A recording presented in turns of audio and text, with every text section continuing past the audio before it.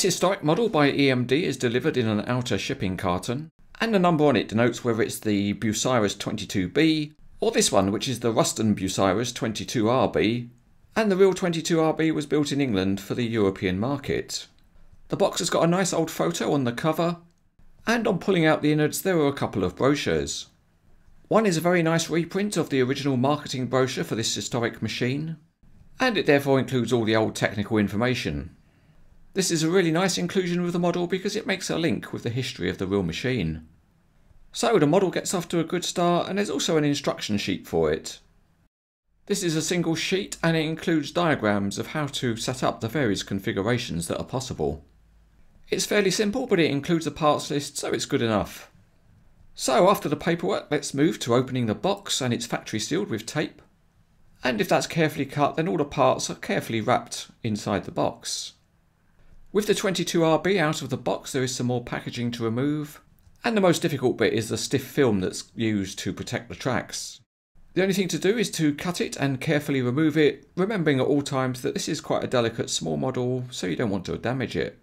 The luffing ropes are also pre-reeved and there's some tape to remove from those.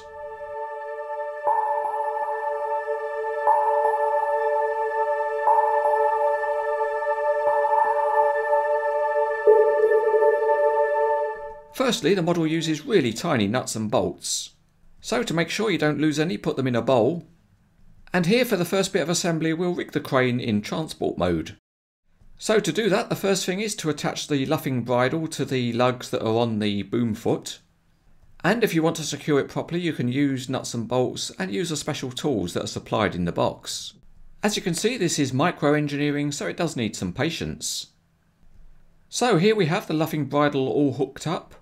And in the UK, the 22RB was often seen with the boom top chained to the boom foot for transport.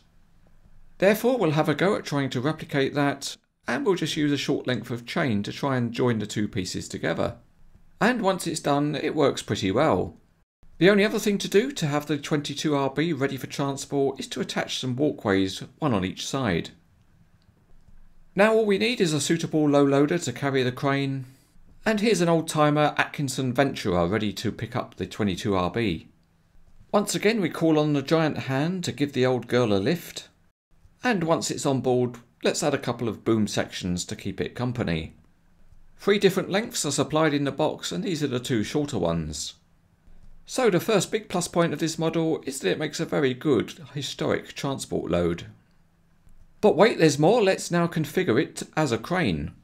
For this we'll use the large boom section and this approximates to giving the crane a 50 foot boom.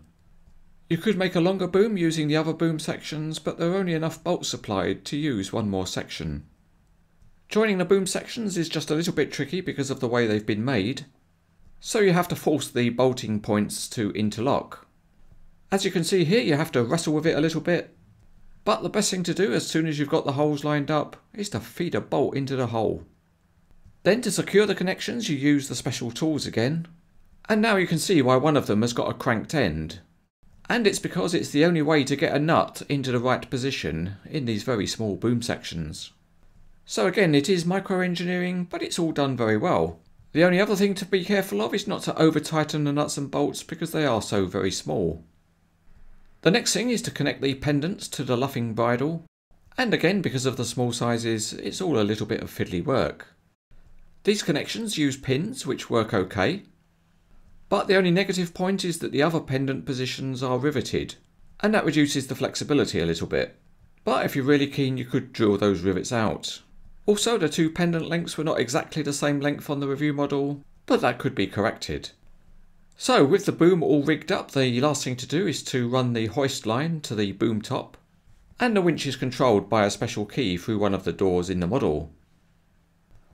After that the reeving is really quite straightforward. It's easy to thread the hoist rope over the boom top and then you can reeve up the very small hook block that's provided. And here it is and it's quite lightweight so it doesn't put much tension on the hoist ropes. Lastly we raise the boom by using the key on a different hoist winch. And with that the crane configuration is complete.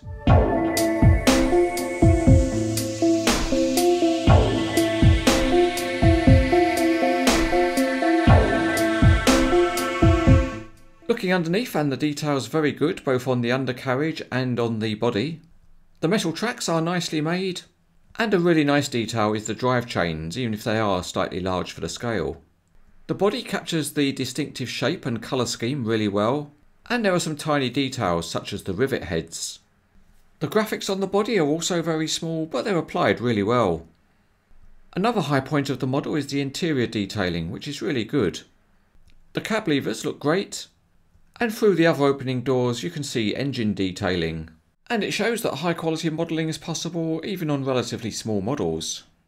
One interesting thing on this model is the boom sections which are not the normal diecast. In fact they seem to be of a kind of pressed sheet metal.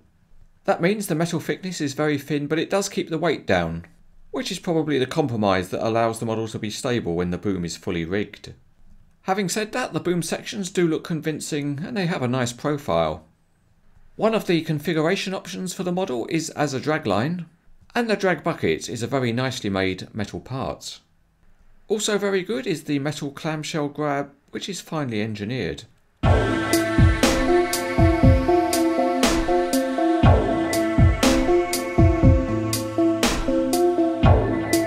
For the test of the features we start off back in transport mode, and the crawler tracks have too much friction to roll on a smooth surface. But they are very willing to roll by hand. And actually the whole mechanism is something of an achievement because the drive chains also rotate. Let's give the tracks a chance on rougher terrain where they can bite, and actually they work well and roll nicely. One very nice feature of this model given its small size is the opening doors, and a plastic pointer is included with the model to help you get the doors open. And that's needed because they are a very good fit. At the rear there's a sliding door and that works really nicely. And moving round to the driver's cab, the sliding door there is also very good.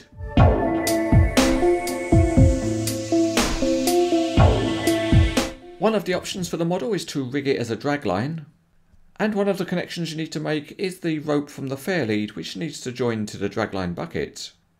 Well, the idea is that it feeds through a small hole in the connector, and when it comes out the other end you tie a knot in it so that it's secure. But it's almost impossible unless you're the sort of person that wins the lottery every week. So the way to do it is to get some very thin wire, and this is fuse wire that's being used, and you feed that through in the reverse direction. You loop the wire over and because it's wire and it's very thin it goes through easily. What you then have is a loop of wire which you need to open up slightly and when you've done that you can then feed the end of the thread through the loop. After that it's all easy because you just apply the magic, pull the wire back through and it pulls the thread with it. With that done you can then tie a knot off in the loose end and that secures the connection to the dragline bucket. Here we now have the dragline bucket in its fully rigged state. And we can see now how the drag bucket works because it scoops up as it's pulled towards the crane. And to show how it empties we'll just mock it up using some rocks in the bucket. The balance of the bucket is such that when you undo the drag rope, it tilts the bucket and empties it.